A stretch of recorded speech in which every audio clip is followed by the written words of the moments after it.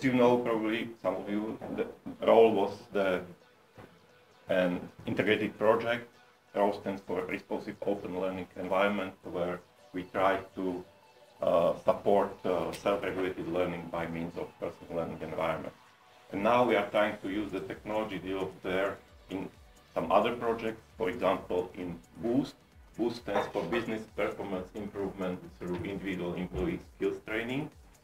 It's a Leonardo, techno, techno, Leonardo da Vinci technology of uh, transfer project. Uh, we have five partners there, so it's a relatively small one. And we want to use the ROLE technology together with the methodology developed in another project, which was called Become, to support uh, small or micro enterprises up to 20 employees because there are many of them and they have quite uh, problems with training and learning so we try to find some ways how to support them in this, in this area. Okay, so this is Boost uh, and uh, these are basically these are some functional requirements that we identify uh, identified in Boost. Uh, so we want to help the companies to um, find uh, the main challenges or competence gaps, if you like, for training and learning, then to plan their individual um, training of individual employees to fill these gaps, provide suitable training and learning for them, and monitor it. This, this is how it looks like. We have uh,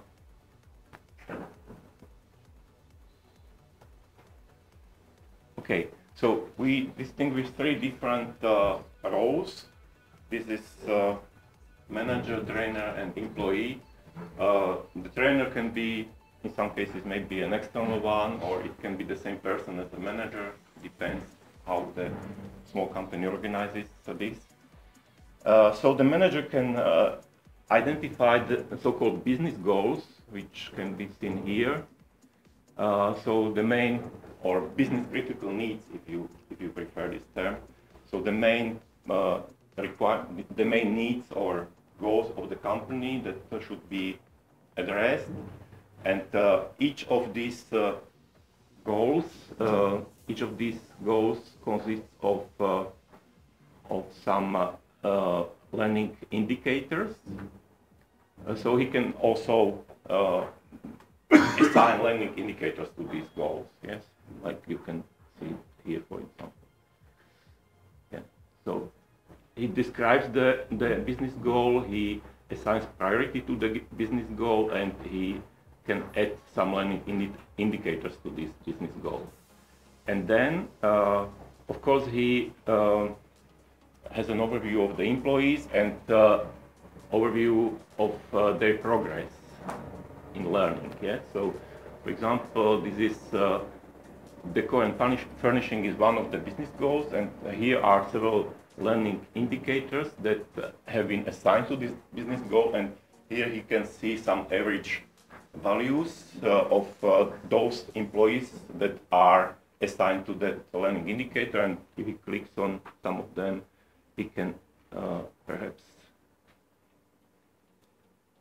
okay so basically he should be able to see the uh, also for example concrete employees how they proceed with their with their uh, learning yeah so this kind of where they started uh, how much they learned and uh, what are their uh, target yeah so this kind of uh, progress they can see easily.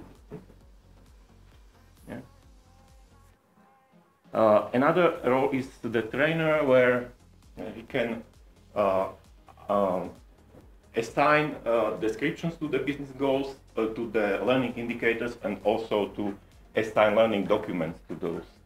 Oh. Okay, this trainer. uh, so he can assign learning uh, documents to those learning indicators. And uh, looks like the demo effect. The demo demo. Okay, so uh, this is his main role as trainer. And uh, then uh, we have the employee area where he, uh, the employee can uh, view the uh, learning documents assigned to the learning indicator and search also other relevant documents. Maybe I can show it also here in We're the. back, we're back now. We're locked out of the wireless. It's working again. Now. Yeah? Fine again.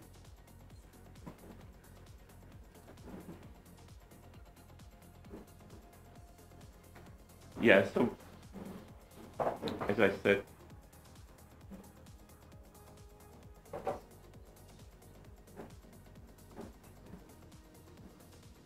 okay, so the trainer assigns the learning documents to the learning indicators and uh, uh, also, mm, yeah, can monitor the pro progress of the learners. And the learners can learn from the assigned learning documents, can also search for additional learning documents and uh, see also their progress.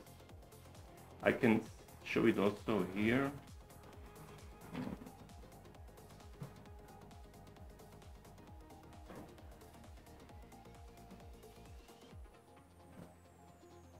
This is the manager area which you have seen, and this is the trainer area where where uh, one can search for uh, documents in some repositories that, that are predefined, in this case YouTube, uh, SlideShare, ScriptDeck. And uh, this document can be seen here and uh, easily uh, assigned to the learning indicators. And uh, the employee can see his uh, progress and uh, can see what uh, business goals and learning indicators are relevant for him and he, he can also search for additional learning documents and view, view them here. Yeah? So basically that's the, the basic idea behind this.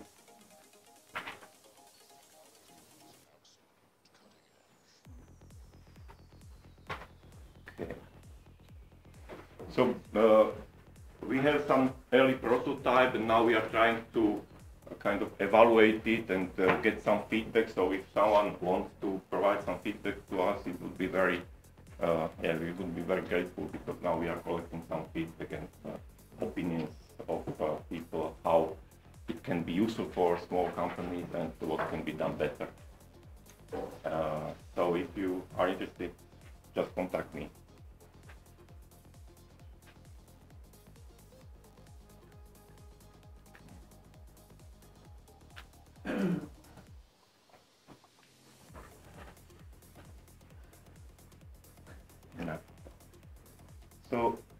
I am, if I don't have okay, I can proceed with the second demo.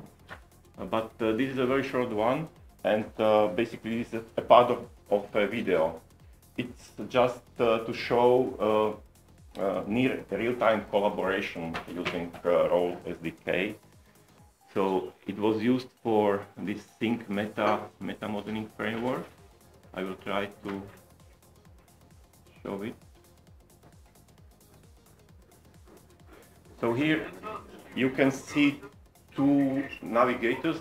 These are two different users and they collaborate on developing some model. So here one creates something new and the other one sees it immediately here. And uh, yeah, also the, the operations are uh, recorded here. So this is to raise the awareness of the users what uh, the, the other ones is are doing. So you can create a new node, a new edges, and add some attributes to it, and so on. So this is what uh, this role, so the Ruby kit supports.